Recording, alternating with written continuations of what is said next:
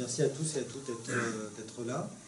Et euh, ce soir, effectivement, on parle de ce qui s'appelle Partenariat transatlantique pour le commerce et l'investissement. C'est le nom, euh, c'est le nom exact, le nom officiel du projet d'accord de, libre-échange qui vient d'être très rapidement esquissé. alors, comme le mot partenariat est un mot qui ne convient pas tellement dans ces circonstances-là, nous, on préfère plus largement parler de projet de grand marché transatlantique, ça parle plus aux gens. Ou bien on parle aussi de TAFTA. TAFTA, c'est l'acronyme anglais pour dire euh, accord de libre-échange transatlantique. Ça donne ça, ça donne ça en anglais. Et c'est pratique TAFTA parce que d'abord c'est court, ça passe en français, ça passe en anglais, ça passe en espagnol. donc c'est ce qui fait que vous avez entendu euh, ce soir le mot stop TAFTA et que se constitue autour de ça, il y a eu un collectif qui a été créé, j'en parlerai tout à l'heure, un collectif national qui a été créé, et il y a des collectifs locaux qui arrivent un peu partout autour de cette idée de, Stop TAFTA. Alors effectivement, il est question d'un euh, de, accord de libre-échange. Mais finalement, on peut partir de ça, de cette notion, qu'est-ce que c'est qu'un accord de libre-échange et pourquoi ça constituerait nécessairement un problème? Parce qu'on peut aussi concevoir que, après tout, euh, le fait de faire de commerce en soi n'est pas nécessairement problématique. Et puis, on peut aussi constater, comme ça a été dit dans, dans l'introduction, que déjà aujourd'hui, le commerce entre l'Union européenne et les États-Unis est tout à fait important. Donc, qu'est-ce que c'est que cet accord qui vient réguler ou régler des relations qui déjà existent et qui sont d'ores et déjà massive. De quoi il est question en fait? Alors, on peut essayer de partir, on va partir du, début, du point de début, du point de départ. Qu'est-ce que c'est qu'un accord de commerce? Et on peut, on peut prendre un, exemple très simple, puisque on est dans, un port, donc euh, c'est pratique. On va prendre l'exemple d'un bateau qui arrive avec à son bord des marchandises et qui arrive en provenance de l'étranger. Et pour l'opérateur de commerce pour la fretteur, pour celui ou celle qui est derrière cette, cette opération, se pose tout un tas de questions, d'ores et déjà. C'est-à-dire que quelle taxation va euh, frapper les marchandises au moment de leur débarquement? Quel contrôle il va y avoir sur les marchandises? Quelles marchandises vont être autorisées? Quelles marchandises vont être interdites et pourquoi? Quels sont les critères qui vont faire que critères sanitaires, phytosanitaires, qu'on va laisser rentrer et d'autres non. Ensuite, le marchand, à quelles conditions il va pouvoir, pouvoir vendre? Est-ce qu'il faut un correspondant local? Quand il aura vendu sa marchandise, est-ce qu'il pourra rapatrier les bénéfices? Si oui, à quelles conditions? Vous voyez, toutes ces questions, il y en a plein d'autres, se posent systématiquement quand il y a du commerce international. Et euh, évidemment, les opérateurs de commerce n'aiment pas l'imprévisibilité, ils veulent bien et ils préfèrent savoir à l'avance où ils s'engagent, d'où l'idée qui est paraissante de faire des accords, euh, des accords de commerce. Et on pourrait se dire encore une fois, bon bah si c'est que ça, euh, il n'y a vraiment pas de quoi euh, vous déranger ce soir, en se doutant qu'il y a un jeu de foot à la télé, c'est peut-être plus intéressant de regarder le jeu de foot.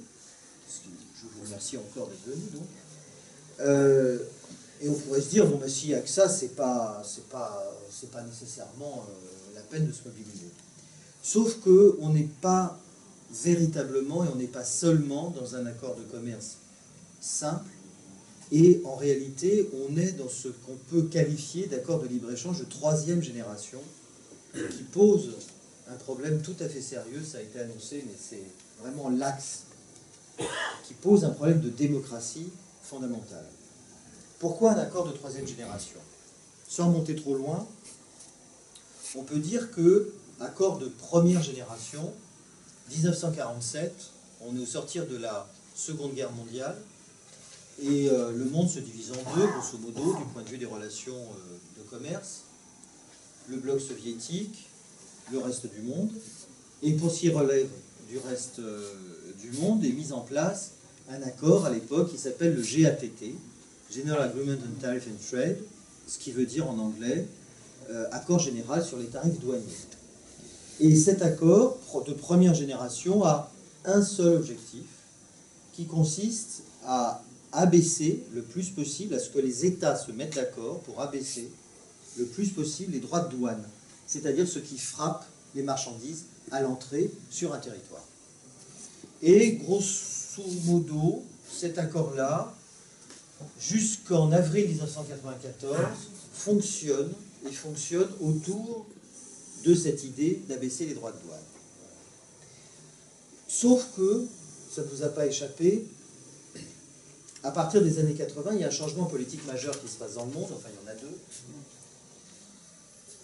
Non seulement l'effondrement euh, du bloc soviétique, mais aussi la montée en puissance du côté des pays de l'OCDE de l'idéologie néolibérale incarnée d'abord par Margaret Thatcher, ensuite par Ronald Reagan, pour lesquels un accord de commerce qui se contentait de régler les questions de droit de douane n'était absolument pas suffisant pour aboutir à ce qui était recherché. Et ce, que, ce qui est recherché est mis en œuvre à partir, j'ai dit avril 1994, c'est le moment où est créée l'Organisation mondiale du commerce qui a commencé à fonctionner le 1er janvier 1995 et qui là instaure, à proprement parler, des accords de libre-échange et qui sont des accords de commerce de deuxième génération. Là, on peut parler d'accords de deuxième génération parce que ces accords ont un objectif clairement affiché, qui n'est pas seulement de traiter des relations de commerce d'un point de vue extérieur, mais de faire en sorte que ces accords de commerce baissent les barrières derrière les barrières. C'est-à-dire précisément s'attaquer aux réglementations intérieures des États qui vont à l'encontre des logiques du commerce international. Alors, comment on s'attaque aux réglementations intérieures des États? Eh bien, en mettant en place un certain nombre de mécanismes. Première idée, c'est un tout petit peu technique, mais à peine, le fait que se met en place ce qu'on appelle la clause de la nation la plus favorisée, qui a vocation à devenir le traitement national. C'est-à-dire, c'est en deux étapes. La clause de la nation favorisée, la plus favorisée, c'est quelque chose d'assez simple à comprendre c'est la clause qui, dans les traités de commerce, fait que toutes les entreprises étrangères sont traitées de manière équivalente sur un territoire donné. Vais donner un exemple tout de suite pour traduire en français ce que ça veut dire. Vous, avez, vous êtes une entreprise euh, brésilienne, vous opérez sur le territoire euh, italien, et vous vous rendez compte qu'il y a un accord entre l'Italie et la Thaïlande, qui fait que les entreprises thaïlandaises sont mieux traitées que vous, entreprises brésiliennes, opérant sur le territoire italien. Dans le cadre de la, clause de la nation la plus favorisée, vous avez le droit d'exiger et d'obtenir que l'État italien, italien vous traite de la même manière que l'entreprise thaïlandaise.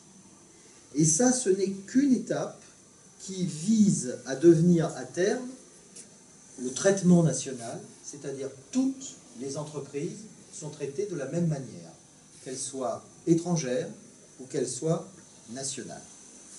Avec un objectif, arriver au plus haut niveau de libéralisation possible en évacuant des réglementations intérieures les mesures distorsives au commerce.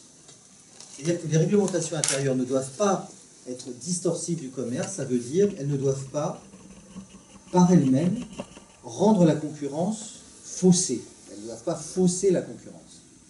Quelles sont les mesures intérieures qui peuvent fausser la concurrence? Il y en a une, très connue, la subvention.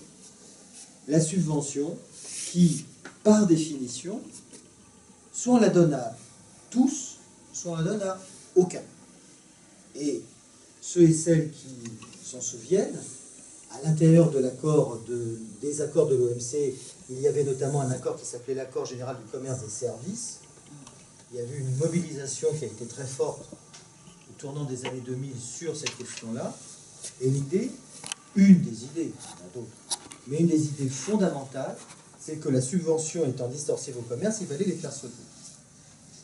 Tout ce que ça implique, concernant notamment les services publics, mais aussi plus généralement la capacité d'action des collectivités publiques, qu'elles soient nationales, euh, internationales, je pense à l'Union européenne, ou euh, locales.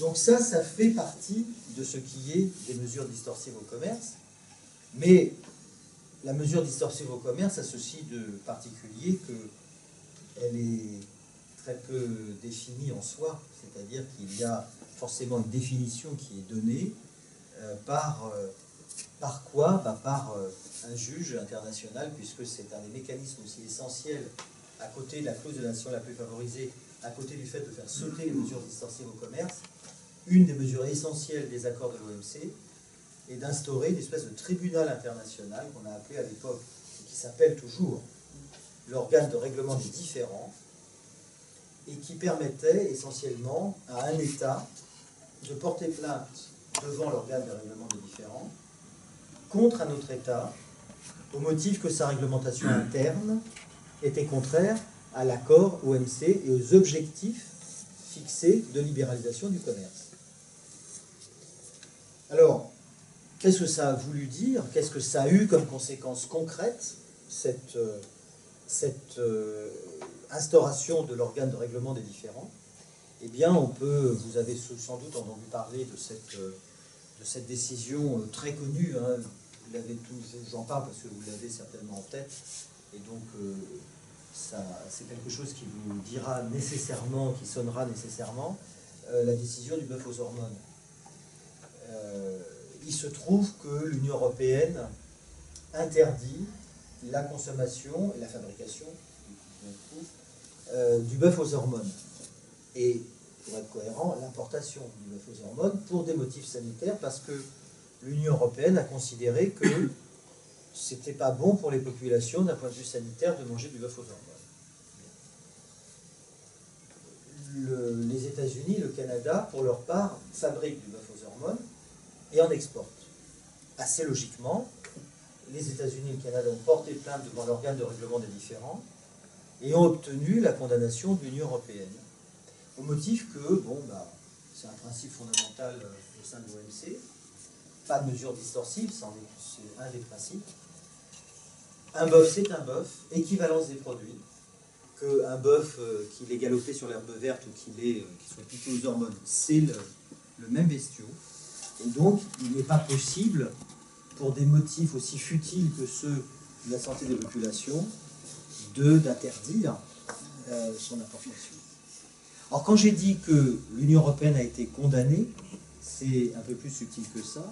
En fait, on est dans une, dans une situation où l'organe de règlement des différends a autorisé les partis qui ont gagné, États-Unis et Canada dans mon exemple, à surtaxer les produits en provenance de l'Union européenne qui rentrent sur son territoire à hauteur du préjudice subi par les producteurs de bœuf aux hormones, c'est-à-dire 130 millions de dollars par an pour euh, les États-Unis et une trentaine pour le Canada, jusqu'à ce que l'Union européenne accepte le bœuf aux hormones.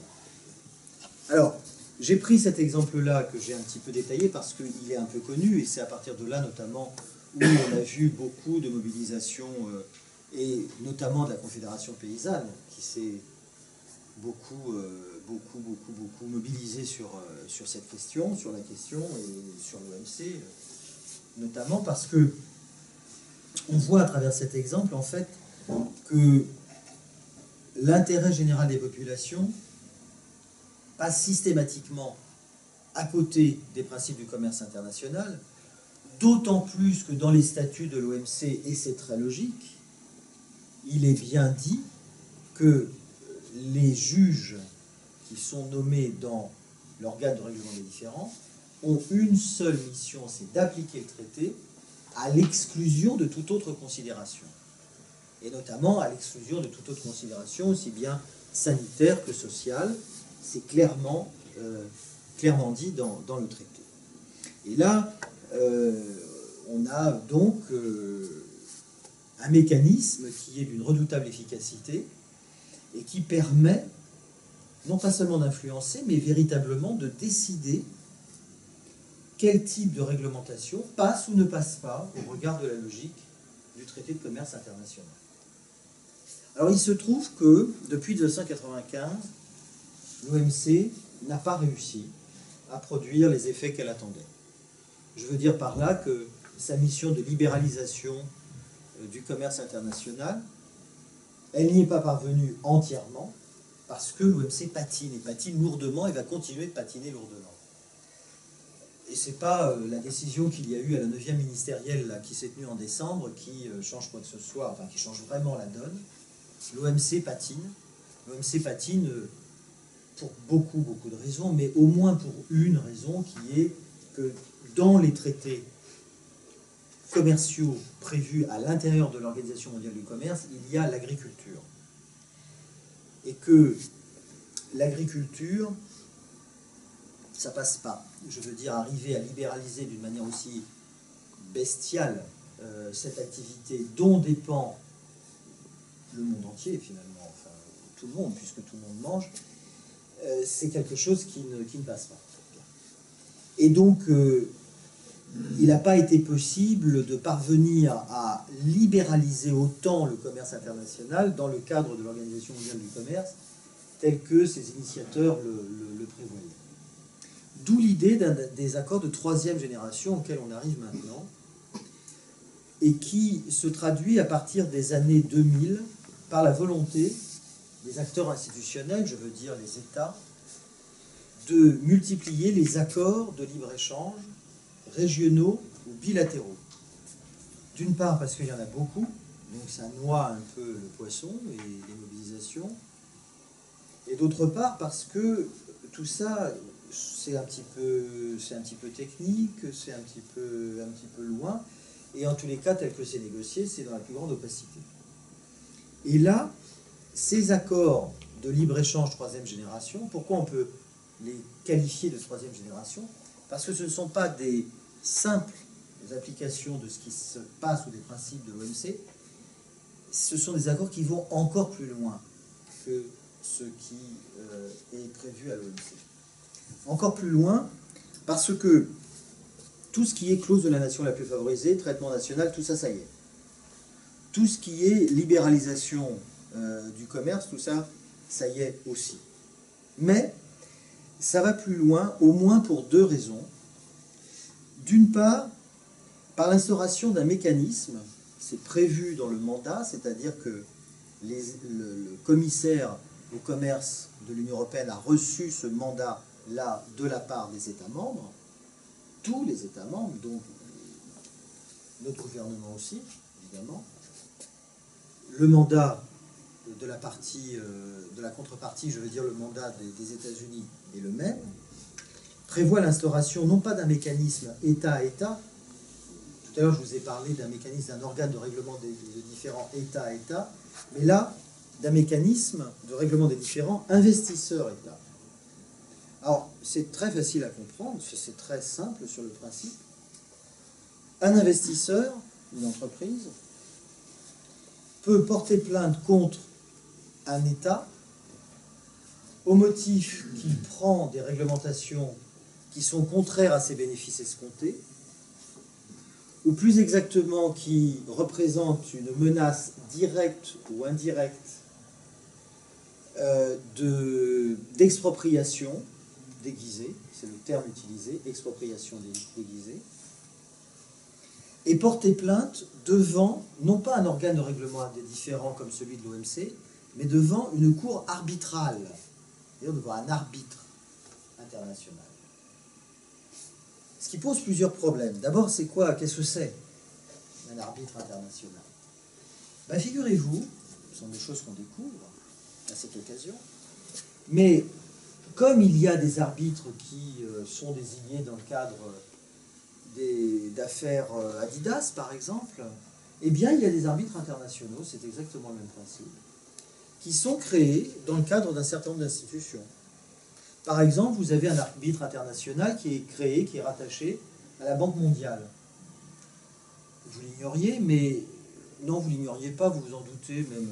La Banque mondiale n'est pas, euh, n'est pas le Père Noël, c'est-à-dire que quand elle fait un prêt, elle fait des prêts avec des conditions.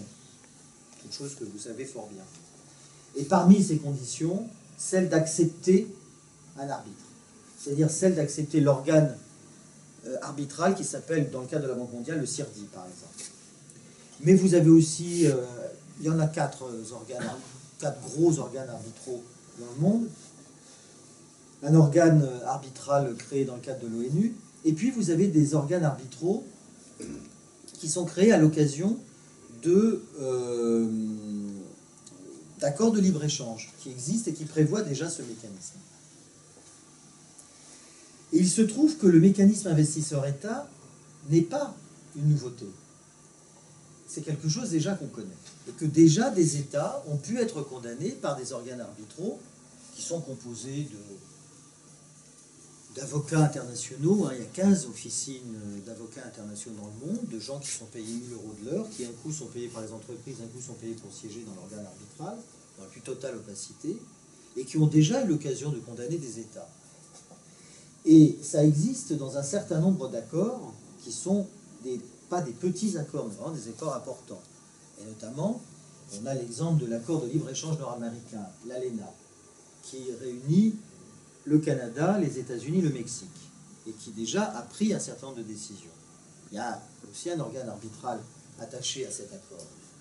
Vous avez, c'est le chapitre 11 de cet accord, et vous avez aussi une foule d'accords bilatéraux, notamment les accords bilatéraux sur l'investissement, euh, qui réunissent des États entre eux. Et là, dans le monde, il y en a au bas mot 400. donc on a, on a de la matière. Et là, euh, très récemment, donc euh, si, vous voulez, vous pouvez vérifier, euh, on a fait, enfin, il y a eu une étude qui a été faite par la CNUSED, vous savez, qui est l'organe des Nations Unies pour le développement, qui a pondu un petit rapport qui nous dit qu'il y a 512 actuellement, il y a 512 cas arbitraux qui sont pendants entre investisseurs-États et donc, on a un certain nombre, euh, nombre d'exemples que je vais pouvoir vous donner, puisque ce pas des choses qu'on découvre. C'est des choses qui sont effectivement dans des rapports officiels. Alors, si, vous, si ça vous intéresse et vous la vérifiez, vous allez sur le site de la CNUSED, vous prenez euh, euh, le rapport sur ISDS, c'est l'acronyme anglais, numéro 3, et vous avez tout ce que je... Enfin, tout. Vous avez la totalité de, ce qui est en cours. Là, je vais pas vous donner la totalité, ce serait un peu long, mais quelques-uns d'assez intéressants. Par exemple, figurez-vous que Philippe Maurice, le cigaretier, dans le cadre d'un accord bilatéral sur l'investissement entre l'Uruguay et les États-Unis d'une part, et d'un autre accord entre l'Australie et les États-Unis d'une part, ont fait condamner ces deux pays parce que sur les emballages de cigarettes, vous savez, les petits mhm. les messages publics, les messages ou avec des photos de cancer, des choses comme ça très agréables, euh, il trouvait que ça cachait le logo. Vous ne voyez pas bien la marque de la Philippe Maurice. Donc ils ont obtenu cette condamnation. Vous avez aussi, tout aussi, euh, tout aussi intéressant, l'entreprise qui s'appelle CMS Energy, qui est une entreprise des États-Unis, et Vivendi, qu'on ne présente plus, qui ont obtenu ensemble 1,15 milliard de dollars de dédommagement parce que l'Argentine avait décidé pendant la grande crise qu'elle a traversée de fixer les prix maximum pour euh, l'eau et l'énergie. Ça lui a coûté 1,15 milliard. Autre euh, exemple qui n'est pas aussi euh, fort, je veux dire, en termes de, de millions ou de milliards, mais qui est très intéressant aussi sur le principe, ça porte sur 22 millions d'euros. Acmea, Acmea, tout le monde ignore que c'est une, et je l'ai appris en lisant, que c'est une société qui euh, s'occupe de gérer les hôpitaux. Et elle demande à la Slovaquie 22 millions parce que, et ça c'est très intéressant, figurez-vous qu'en Slovaquie, il y a eu une séquence politique tout à fait intéressante, il y a eu un gouvernement qui a été élu pour privatiser les services publics. Il l'a fait. Il est arrivé, il l'a fait. Et il se trouve que dans le débat politique, il y a une cristallisation qui s'est produite sur la privatisation de la santé, spécialement en Slovaquie, où là, ça a été perçu comme étant totalement calamiteux. J'aurais pu euh, demander à d'autres États avant, mais enfin, voilà, ça a été perçu en Slovaquie à ce moment-là comme calamiteux. un autre gouvernement est élu sur le programme qui consiste à renationaliser la santé. Acmea demande 22 millions parce qu'elle possédait des, hôpitaux. Et que donc, c'est une expropriation indirecte ou directe, là en l'occurrence. En parlant d'expropriation, euh, l'Équateur a été condamné à 1 milliard 17 de dollars en faveur d'Occidental Petroleum parce nationalisé, a nationalisé son pétrole. Vattenfall. Vattenfall, c'est une entreprise de une filiale de Swedish Energy, c'est-à-dire d'une entreprise suédoise. Eh bien, elle a utilisé un, accord bilatéral sur l'investissement qui existe entre la Suède et l'Allemagne. Vous voyez, c'est pas loin. Hein. pour obtenir, et en tous les cas c'est ce qu'elle demande, 3 milliards 7 de dollars parce que l'Allemagne a décidé de sortir du nucléaire, comme vous le savez. Et Vattenfall possède deux centrales. Pine, qui est une entreprise des États-Unis, là, en, très très récemment, a réclamé au Canada 250 millions de dollars parce que une de ces provinces, une province de Québec en l'occurrence, a décidé de mettre un moratoire sur l'exploitation des gaz de schiste par fracturation hydraulique. Dans la vallée de Saint-Laurent, euh, qui est une très belle vallée par ailleurs. Voilà. Donc, ces quelques exemples, hein. Ces quelques exemples euh, montrent quand même de quoi il est question il est quand même question de ce que le périmètre de la démocratie soit décidé non pas par la délibération publique. On peut penser ce qu'on veut du fait que la démocratie fonctionne plus ou moins bien, voire plutôt plus ou moins mal. Mais enfin, l'idée générale, ça consiste quand même à penser que, en gros, les populations sont supposées s'occuper des affaires qui les regardent en tous les cas, sont légitimes à prendre des décisions pour les affaires qui les concernent. C'est ça, grosso modo, les principes démocratiques si on résume à grands traits. Là, on est dans un système dans lequel le périmètre de la démocratie est décidé par des intérêts privés, c'est-à-dire par des entreprises qui ne sont pas la petite et moyenne entreprise locale, non, mais la grosse entreprise, parce que pour entamer une procédure euh, d'arbitrage, c'est pas n'importe quelle petite entreprise qui fera ça. Il faut au moins 8 millions de dollars pour démarrer une procédure d'arbitrage. C'est le coût moyen de ce type de procédure devant les organes d'arbitrage qui existent, les organes d'arbitrage internationaux. C'est un chiffre qui a été établi notamment par le CEO. On publie sur le, site d'attaque, on publie le rapport du CEO qui montre ce genre de choses. Et donc, euh, ce sont les grandes entreprises qui auront les moyens de faire ce genre euh, d'actions qui euh, décideront ça je veux m'en occuper, ça c'est pour moi, ça c'est pour moi, non ça ça m'intéresse pas, vous voyez, dans tel ou tel type d'activité. Ajoutons à cela que dans le mandat qu'a reçu l'Union européenne de la part des États pour négocier ce projet de grand marché, il y a un point 4. Alors ce mandat, vous ne le trouverez pas officiellement, on l'a eu par une fuite, on l'a publié sur le site d'attaque. Vous regarderez donc le point 4 dit que tous les niveaux de gouvernement sont concernés par l'accord. Tous les niveaux de gouvernement sont concernés par l'accord. Traduit en français, ça veut dire les collectivités locales aussi. Le national, on l'avait compris, l'Union européenne, on l'avait compris, mais il y a aussi le local. On va prendre un exemple simple. On va prendre l'exemple d'une collectivité locale qui décide de passer à un marché public pour euh, la nourriture des cantines scolaires. Exemple banal. Elle fait un cahier des charges, la collectivité locale. Et dans le cahier des charges, elle marque euh, je veux de la nourriture bio et en circuit court, par exemple. Qui nous dit qu'il n'y aura pas une entreprise de grande distribution qui va arriver derrière en disant mais pourquoi euh, bio et pourquoi circuit court? Où est-ce que vous avez vu que c'est garanti ça dans l'accord? Non, ça y est pas garanti de toute façon, donc c'est normal qu'on ne le trouve pas. Il ne sera même pas nécessaire pour l'entreprise d'entamer réellement une procédure. Il suffira qu'elle menace. je ne sais pas si vous avez en tête quelle collectivité pourrait résister à une, à deux ou à trois euh, procédures de ce type, sachant donc le coût de ces procédures. Donc, là j'ai pris l'exemple des cantines scolaires, on peut prendre l'exemple, vous pouvez prendre d'autres exemples sur euh, dans le domaine social, l'aide à l'enfant.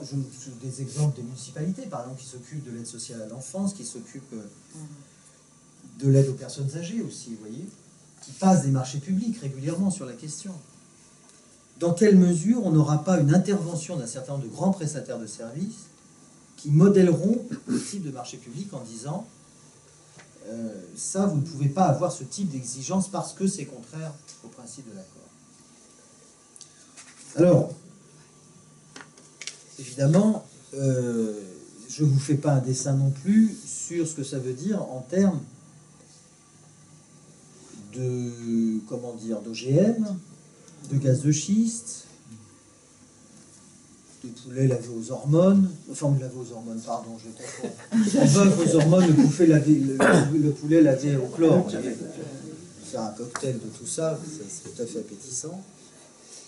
Donc je ne vous fais pas un dessin là-dessus aussi, puisque, bien entendu, euh, je ne vous apprends pas qu'il y a, euh, notamment sur les questions agricoles et notamment sur les questions environnementales, un certain nombre d'opérateurs, qui sont des opérateurs américains, qui euh, veulent bien faire sauter les derniers verrous qui existent encore. Surtout faut pas imaginer que c'est dans ce sens-là uniquement, c'est pas à sens unique, parce que de l'autre côté, vous savez également qu'il y a des, enfin vous en doutez qu'il y a des opérateurs du côté euh, de l'Union européenne qui veulent bien aussi faire sauter un certain nombre de réglementations à l'intérieur des États-Unis, et notamment on pense à tous les énormes prestataires de services que nous avons euh, en Europe, qui veulent intervenir sur les marchés locaux des États-Unis. Ils l'ont dit explicitement, c'est des choses qui sont officielles. C'est la ministre des Affaires du Commerce extérieur nous l'a répété encore, euh, encore récemment. Également les banques qui euh, seront très contentes de faire euh, sauter les quelques dernières réglementations qu'il y a aux États-Unis et qui sont moins laxistes, figurez-vous, que les nôtres. C'est dans les deux sens, hein. c'est pas uniquement des États-Unis vers nous, mais aussi l'Union européenne euh, vers les États-Unis. Et dans tous les cas, on est dans quelque chose où euh, on a, encore une fois, la démocratie qui n'est pas décidée par la délibération publique. Ou plus exactement, la délibération publique ne concernera plus que les choses dont ne voudront pas les, euh, grandes entreprises. Mais là, je ne vous ai parlé que d'un mécanisme. Il y en a deux. Je vous en ai annoncé deux. Le deuxième est celui-là, c'est celui de la convergence réglementaire. Alors c'est quoi ce truc-là, la convergence réglementaire? C'est l'avenir. C'est-à-dire que là, je vous ai parlé des réglementations qui existent, il faut aussi penser aux réglementations qui viennent. Dans l'hypothèse où on aurait un gouvernement qui voudrait prendre des mesures de protection des populations. J'ai failli dire des mesures progressistes, mais même sans aller jusqu'à jusque-là, simplement des mesures de protection de la population. Il faudrait que d'une manière ou d'une autre, ces réglementations passent par les fourches codines de l'accord. Alors là, il y a une, négociation, on est, c'est pas fixé. Ça serait soit l'instauration d'un comité, on appellera le comité euh, de convergence réglementaire, enfin un comité théodule composé de, euh, technos euh, qui n'ont pas de responsabilité politique et qui diront oui ou non. C'est-à-dire oui, ce projet-là, ça va, ah non, celui-là, non, ça va pas. Ou bien vous aurez le mécanisme qu'on appelle les tests de nécessité, c'est aussi dans le, dans le mandat, c'est-à-dire qu'au moment où un gouvernement prendrait une mesure protectrice de la population, il faudrait qu'il établisse la nécessité de le prendre au regard de l'accord, c'est-à-dire une espèce de compatibilité. Ou bien on aura les deux. voyez, c'est pas l'un n'étant pas incompatible par rapport à l'autre, mais euh, effectivement, ce point, ce point-là étant, étant, est en négociation. Alors évidemment, on se demande après ça comment on peut en arriver là. Un peu la question qui se pose quand même, parce que il y a un effet de sidération. On se dit quand même, euh, première, deuxième, troisième génération d'accords de libre-échange, tout ça. Alors comment on en arrive là? Eh bien, vous avez l'apparence et puis vous avez la réalité. L'apparence, c'est, et vous pouvez le vérifier là aussi, en allant sur le site de la Commission de l'Union européenne, qui entre nous est un site très mal fait, donc si vous avez beaucoup de courage, vous pouvez aller vous y perdre, mais vous trouverez, précédant le début des négociations, c'est en juin 2013, il y a eu une décision qui a été prise euh, d'entamer les négociations entre l'Union européenne et le Canada. Vous trouverez une étude qui a été commandée par la Commission et qui nous explique que euh, le commerce, bah, c'est des échanges de valeurs, donc c'est un enrichissement puisque les, valeurs circulent. Et comme il y a un enrichissement, il y a un effet de ruissellement. Et donc comme ça, la richesse coule comme ça sur toutes les sociétés. Et puis après, le niveau monte. Enfin bon, ce genre de, théories délirantes euh, qui ne sont pas nouvelles, hein, puisque je peux, en témoigner je l'ai entendu et de la part de Christine Lagarde et de la part de Pascal Lamy, vous voyez, donc euh, du point de vue du spectre politique, en tous les cas, on est sur une... ça couvre pas mal.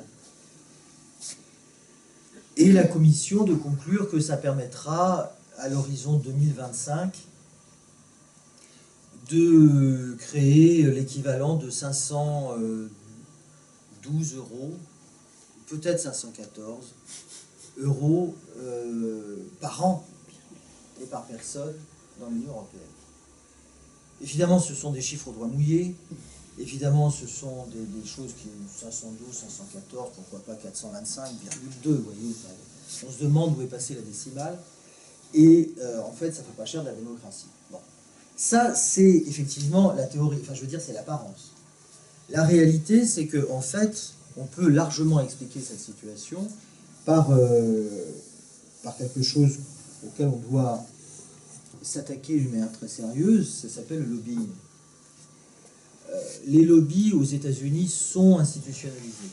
Vous avez lu, vous avez vu des films, vous avez vu des études, vous savez tous et toutes très bien que les lobbies aux États-Unis interviennent en amont de la décision publique, ils sont en osmose complètement avec les institutions publiques l'intérêt général aux États-Unis est considéré comme celui qui correspond aux intérêts des lobbies les mieux représentés.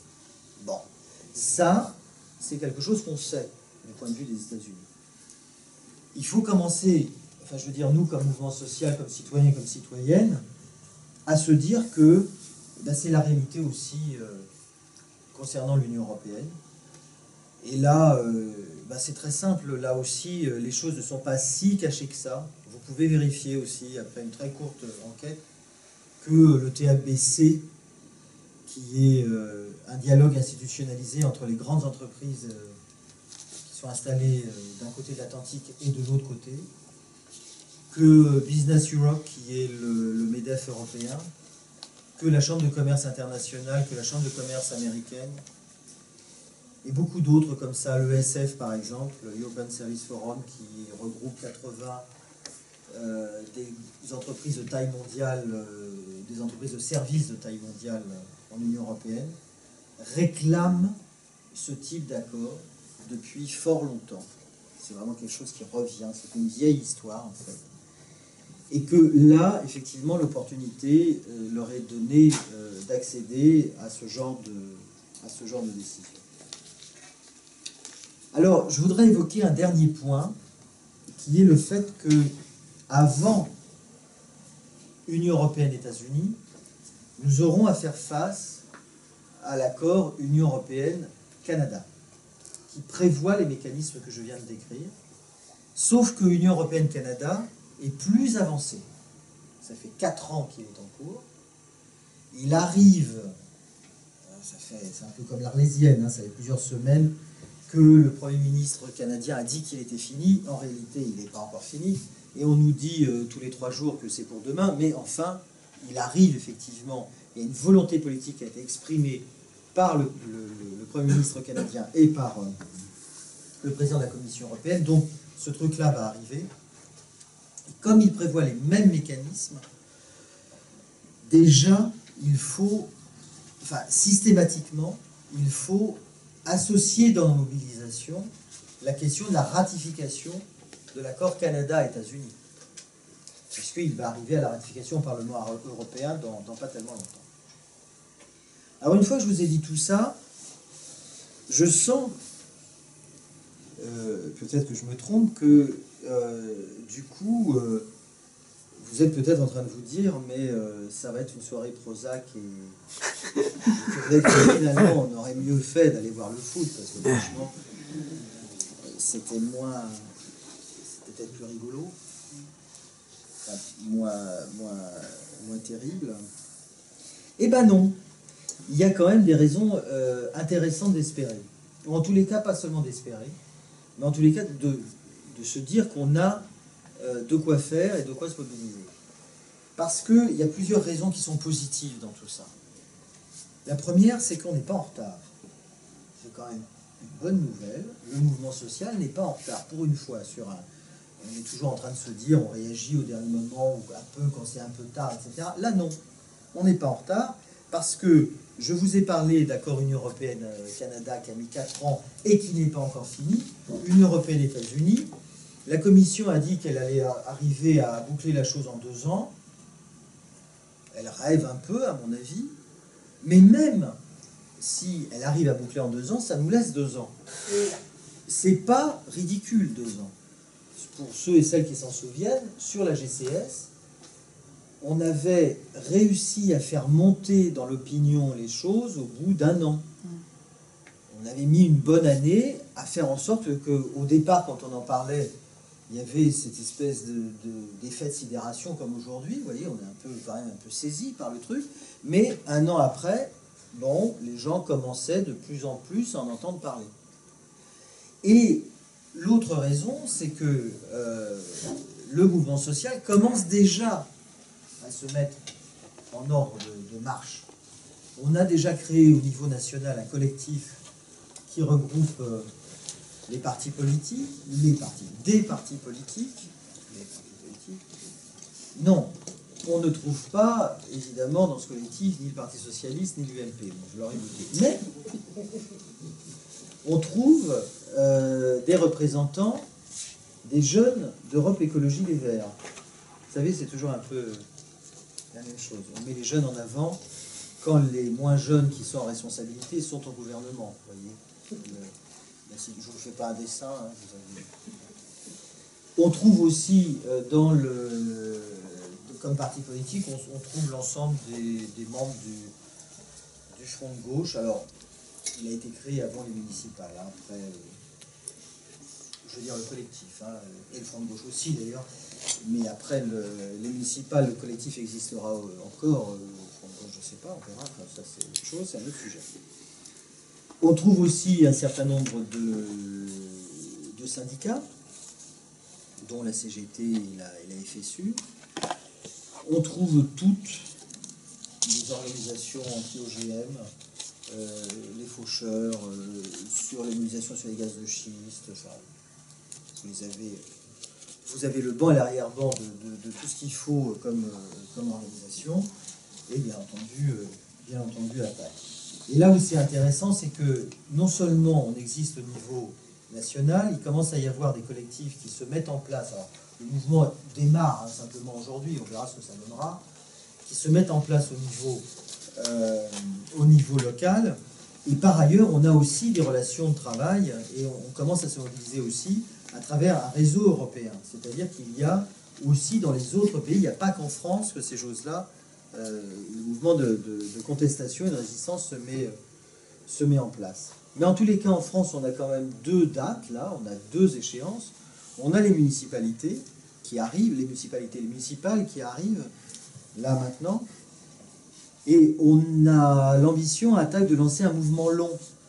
comme il y avait eu en son temps les collectivités qui se prononçaient contre la GCS, les collectivités locales qui se prononçaient contre la GCS, l'idée c'est de faire en sorte que des collectivités locales se prononcent contre le TAFTA aussi. Toujours avec cette même idée qui est une proclamation politique, qui est l'occasion de faire du travail politique à la base. C'est-à-dire l'occasion que les gens soient informés, que les gens sachent ce qui se passe à travers l'interpellation euh, des élus, hein, bien entendu. Euh, c'est ça l'idée. Il y a aussi euh, les échéances européennes, dont vous savez qu'elles arrivent bientôt, et là, le prochain Parlement européen devra décider de deux choses la ratification Union européenne-Canada, la ratification Union européenne-États-Unis. Donc on a là aussi de quoi les interpeller. Nous avons aussi, c'est passé peut-être inaperçu, mais à notre actif un certain nombre de victoires. L'année dernière, il y a eu un accord qui est l'accord sur la contrefaçon qui a été bloqué au niveau parlementaire, au niveau du Parlement européen, après une mobilisation euh, tout à fait efficace. Et dans le collectif, ceux qui ont conduit cette mobilisation, ceux et celles qui ont conduit cette mobilisation, notamment la quadrature du net par exemple, se trouvent dans le collectif dont je parlais, euh, dont je parlais tout à l'heure. Aussi, les aspects positifs, c'est que au niveau des États-Unis, euh, nous avons vraiment des relations de travail très étroites avec euh, des gens qui se mobilisent. Les États-Unis, société civile américaine, n'est pas du tout euh, inexistence ou amorphe comme on, l'imagine ici. C'est pas vrai du tout. Il y a des organisations qui font du bon travail, notamment Public Citizen, qui se mobilisent pas mal.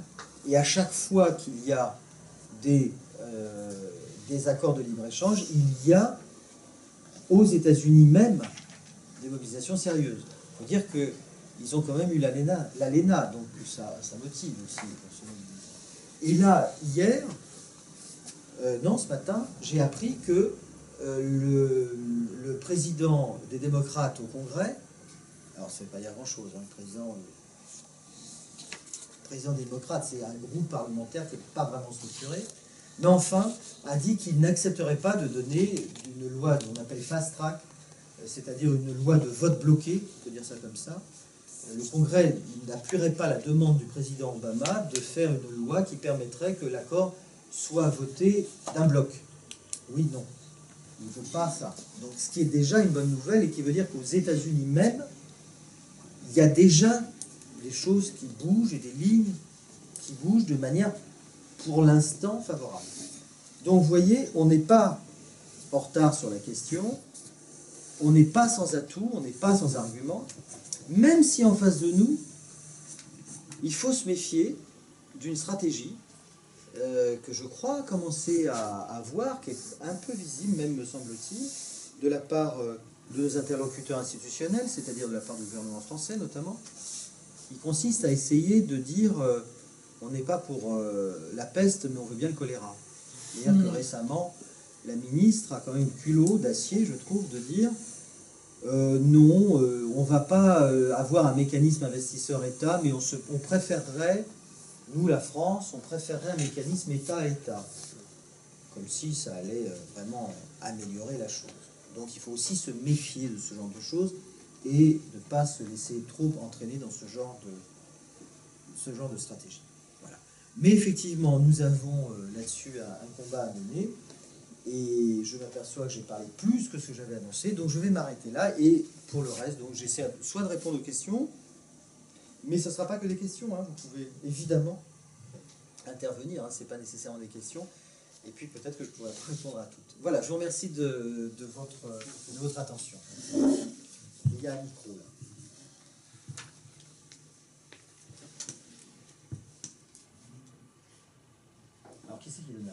C'est pas moi, hein. je ne peux pas tout faire. Il faut mettre sur Oui, oui, d'accord.